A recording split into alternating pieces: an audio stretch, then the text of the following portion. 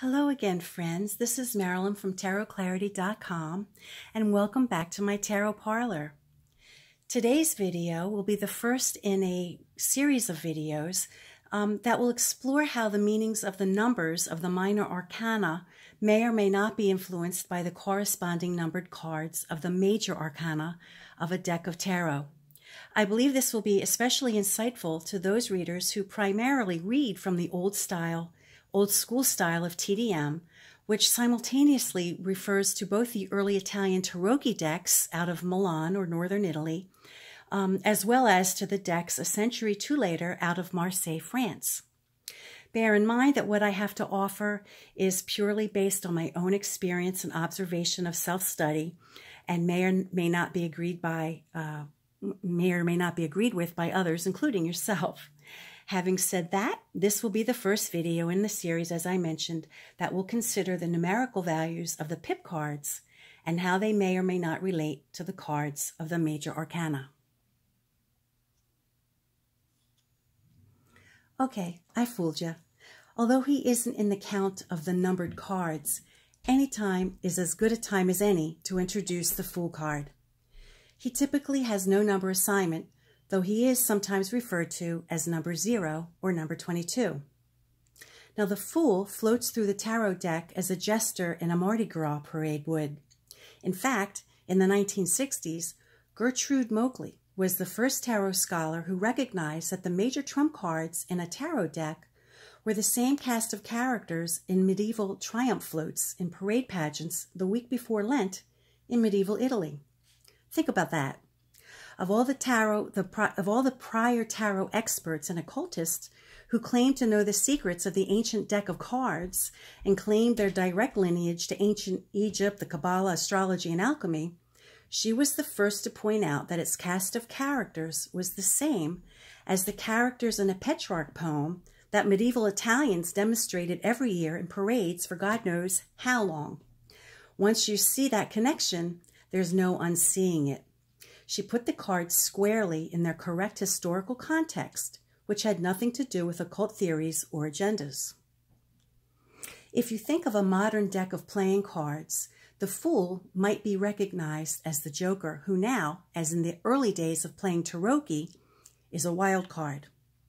In the game of Tarocchi, as its modern Joker counterpart, the fool, the fool or the joker excuses the player who possesses him from having to lay a card from the suit being played. In essence, the fool could be said to assume the properties of the card that it's replacing. The appearance of the fool disrupts the flow of the game of Tarocchi, allowing the next player to change the suit being played. Because of this historic context of the fool in a game of Tarocchi, one can clearly see how the meaning of this card evolved to mean spontaneity, rule breaking, risk taking, and elements of chance in the interpretation of a tarot reading. And because the Fool can be said to mimic the cards that surround it in a game of cards, it isn't difficult then to see how the Fool likewise lends itself to amplify the meanings of other cards surrounding it in a tarot reading. An example, if the fool appears in a, in a spread surrounded by several pages, it might suggest immaturity or a reference to several youngsters, uh, or even the arrival of unexpected news, depending on the nature of the question asked. Its evolution from its historic roots is evident. Now think about that for a second while you look at the Fool from the Visconti Sforza deck of, of, uh, of. Um, this is the oldest known existing tarot deck from the mid 1400s. There may very well be older decks, but this is the oldest known surviving deck. In this deck, the fool is depicted as a vagabond with a club. He wears ragged clothes, has feathers haphazardly arranged in his hair, and he stands before a crevice. He appears to be a man with nothing to lose, which, as we've already noted, makes him the most dangerous card in the deck. Now check out the Fool of the Estensi Tarot deck of the late 1400s. I think it's like 1490. He's got donkey ears, um, which kind of remind me of the naughty and foolish children in the Pinocchio story. You see them? In this card, the village children are throwing stones at him. He's barely dressed, and in fact, his pubic hairs are visible, which suggests that he's vulgar in polite society. And he's actually pretty creepy in this particular card since he's parading like that in front of children. Um, but that's probably my impression as a 21st century viewer. It might not have been um, thought of as creepy to someone in the 15th century. I don't know. Now let's compare both of these fools um, to the fool from the Noblet tarot deck coming out of Marseille about 150 years later in 1650. The Noblet is arguably the oldest of the existing Marseille decks. Notice that this fool also appears as a vagabond. This time he's carrying a satchel instead of a club. Notice how his entire backside and genitalia are exposed by an attacking dog. Because of this detail, it's clear that the dog is not his pet, but rather an attack dog. There is no precipice, crevice, or cliff evident in this card. The dog chases him away and literally exposes him to the villagers as a, as a stranger or a threat to their community. Like the Estensi fool, he has bells on his hat, and I think on the Estensi, there may be one on his hat. I'm not sure if that's a bell, but clearly these things look like bells. Um, you know, and he's reminiscent of a court jester. Is the fool a character who has fallen from grace um, within the court in these particular cards, or are his bells meant to alert the villagers that he's in the vicinity? It's interesting to me that in both the Estensi and the early Noblet card, um, there is a visual reference to the sexual region of the character's body. Does this imply that those early decks were referencing a sexual threat as well? Who knows? That is not really apparent in this Visconti, uh, Visconti Sforza deck, although he is in his undergarments, um, which might be as risque as that particular artist was willing to present this character to the aristocratic family who commissioned him. A sexual connotation to the fool, if there was any, is lost to history.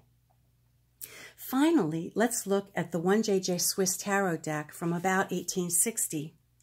By now, we clearly see the Fool as he is presented, um, you know, very similarly to our current day playing card Joker.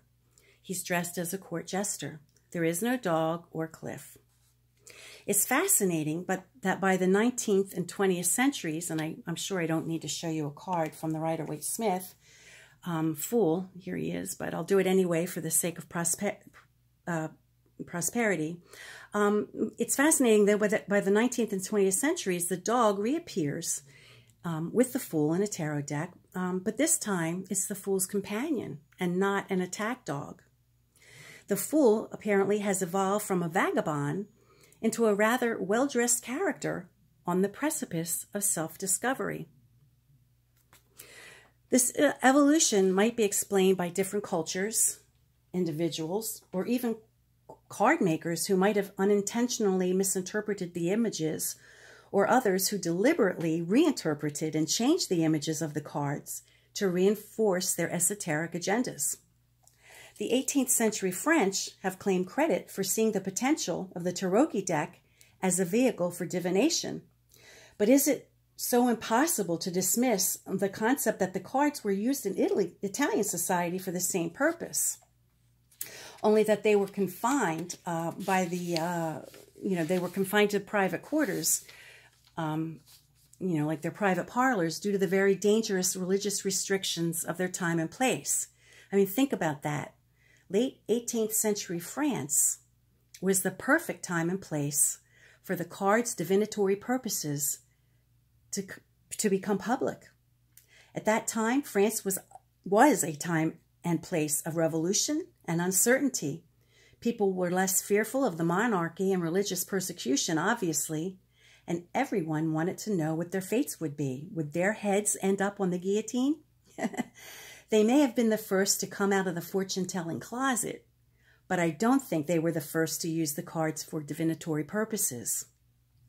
Please give this video a thumbs up and, and subscribe to my channel to stay tuned for the next video in this series, the number one in the deck of tarot. Until next time, thank you for watching and peace.